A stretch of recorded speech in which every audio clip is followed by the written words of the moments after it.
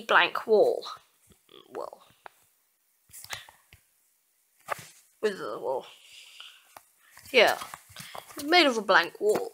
Until I put a lever here, flick the lever, and then you see a piston head comes out carrying a block, and it comes out two blocks instead of one, like we did last time.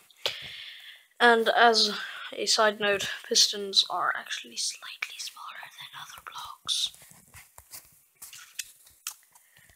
Here is a completed one, and here is a completed one pointing in the other direction. They work in either direction, as you can see, and they also work, well, anyway, actually. To build one, here is my lever. You start by putting your redstone dust here,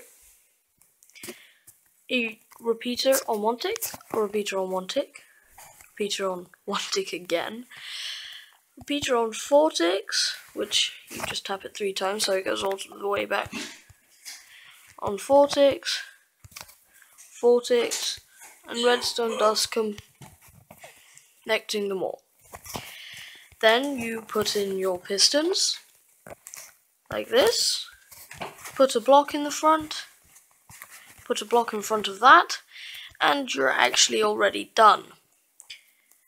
By that I mean that the piston will extend and it will also retract correctly.